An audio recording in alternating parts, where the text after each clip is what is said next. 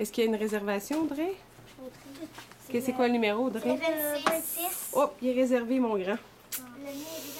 Est-ce que tu peux en choisir un autre? Parce qu'il y a des élèves qui les ont réservés?